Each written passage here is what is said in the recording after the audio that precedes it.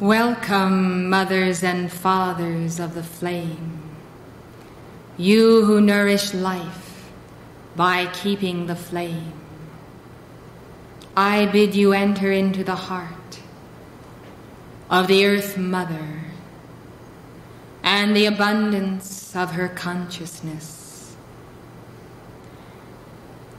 Come with me now and feel what it means to be responsible for evolutions almost without number who daily require compassion, the flow of love, physical nourishment, hope, encouragement.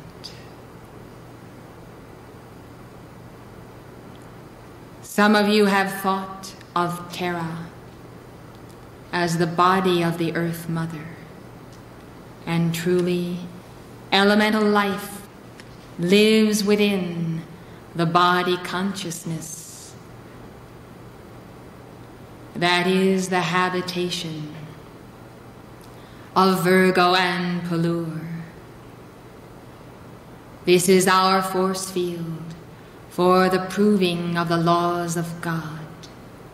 And yet, as ascended beings, we have also an earth body that has already been made permanent in the heavens as the permanent atom of our being.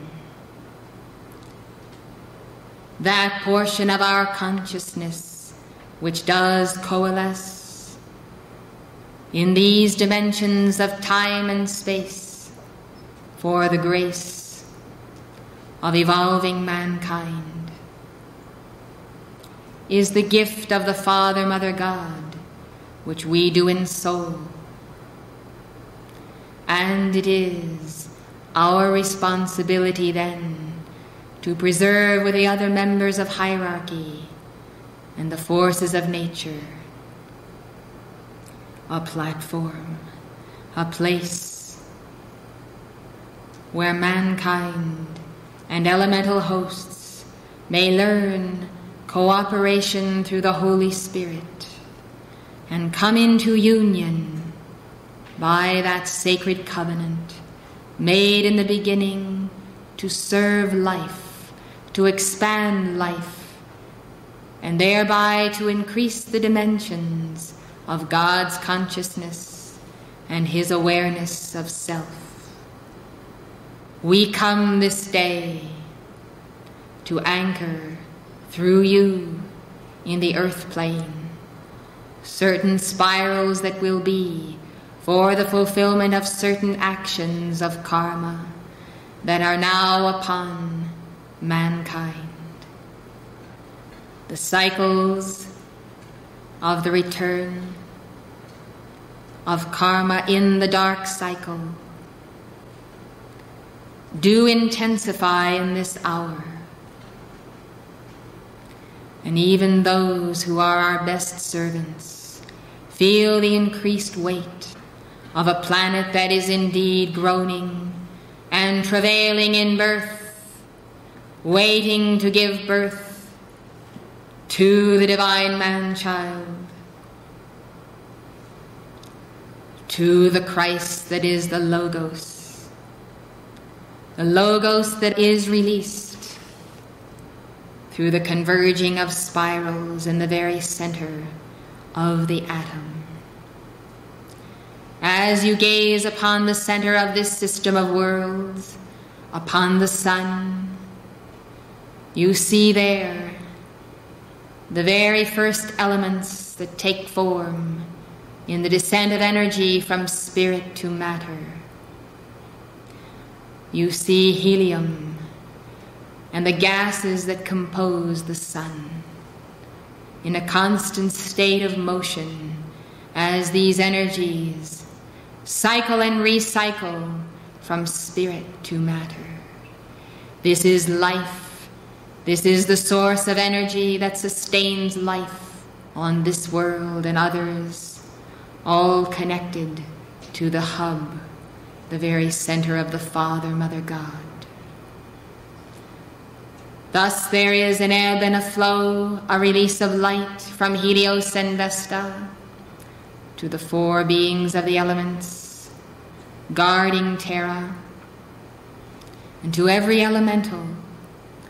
All are nourished and sustained by the cycling and recycling of energies from the sun. Therefore, consider then that mankind now are beginning to go to the sun as the source of energy. And indeed, it can provide all that is required for the sustaining of life, for heat and light and fuel. And so there comes a time when mankind will not be forced to tear up the earth, to war with one another over resources for by the elevation of consciousness to the level of the Christ mind, all will draw forth the energy of the sun that is limitless because it comes from the heart of the one God. As Akhenaten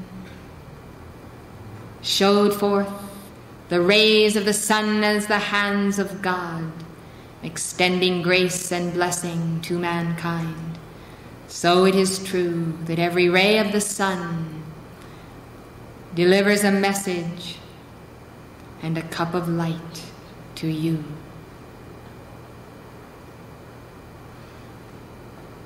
The energies then that are available to mankind at every level of consciousness through meditation upon the center source are enough to support all evolutions assigned to this planet, the avatars waiting to be born. They are sufficient to draw elemental life into the phase of the resurrection spiral.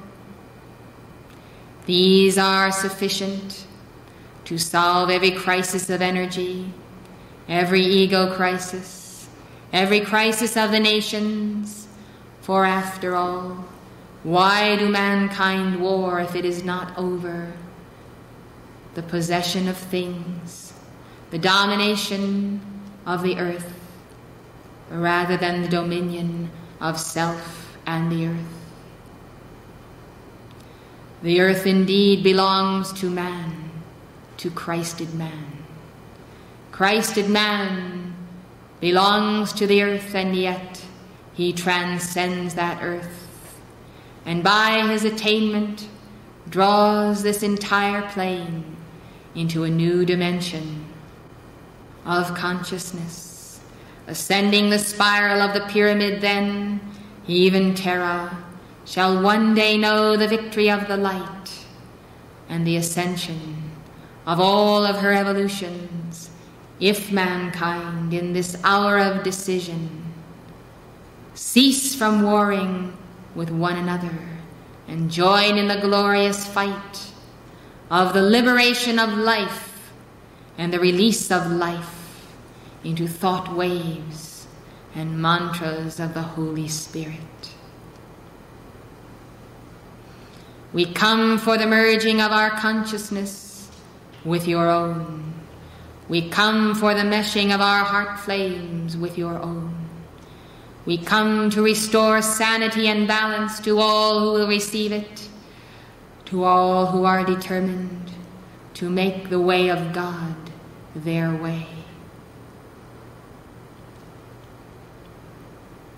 The weight then of karmic cycles is borne hand in hand by mankind and elementals. I would then that you would keep the vigil in this focus of violet flame to the elementals, of sealing them in the ovoid of God's consciousness.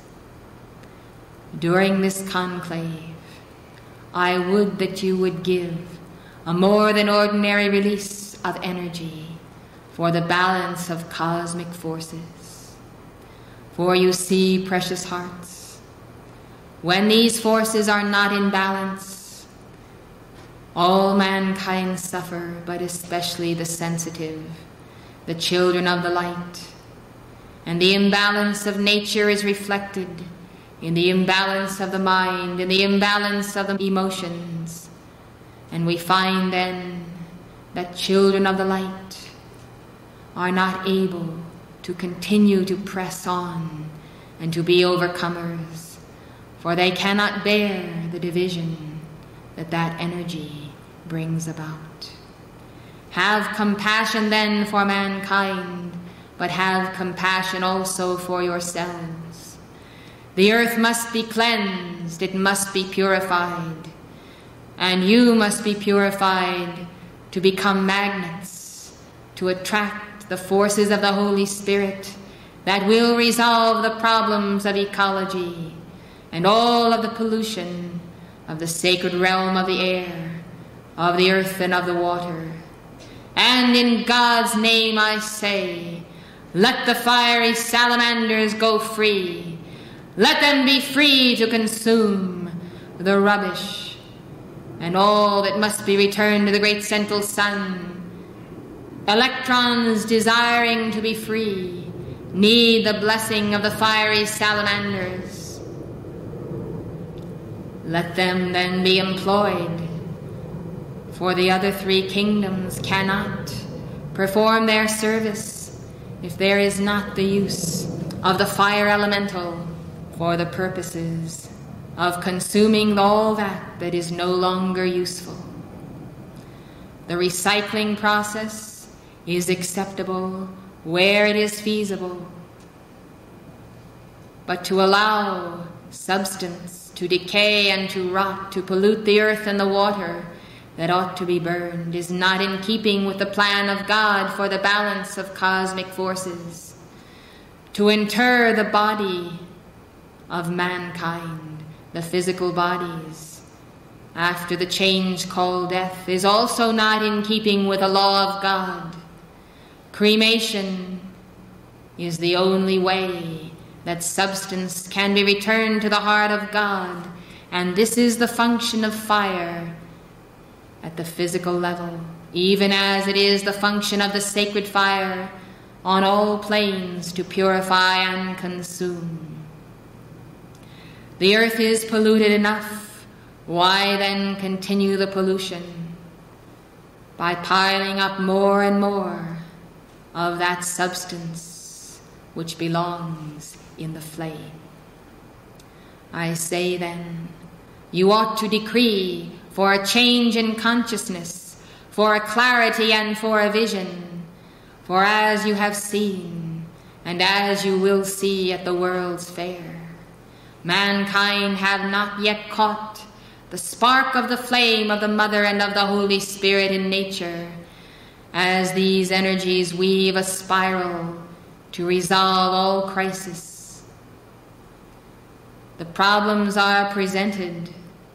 They are supposedly resolved by the state or by mankind's ingenuity. But the solution to the problem is always with the Holy Spirit and with communion with that Spirit. And then all designs and all plans, all engineering comes forth scientifically as the science of the Divine Mother. And so I ask that you call forth from the heart of Cyclopea God vision for elemental life, God vision for mankind serving with them. For without vision, the people will perish Without vision, the elementals will perish, and there will cease to be a platform for evolution. Simultaneously with the revelation of all that is not of the light, we also release the glory, the plaudits, the gratitude for all that has been released and all that has been done for the victory. And thus heaven holds the balance of retaining hope for all who yet occupy place on terra. Hope is in the hearts of the angels. Hope increases now in the hearts of the elementals as you gather for the victory of freedom. I come then in the flaming glory of a light of ten thousand suns. I come welcoming the avatars, welcoming fathers and mothers of the flame, sons and daughters and children. I welcome all. I give you my love and the love of Virgo that is also mine to give, mine to receive, yet all is God's. And we too live and move and have our being in the plane of spirit earth as we cycle those energies for the fulfillment and the victory of every earth atom, of every earth electron.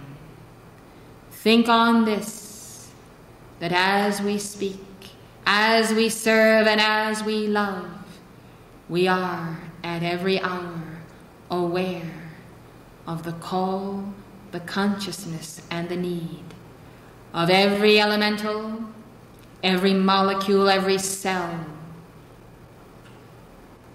every electron, every blade of grass and tree and bird that sings is held within the immaculate conception of our heart's devotion to truth and to the abundant life.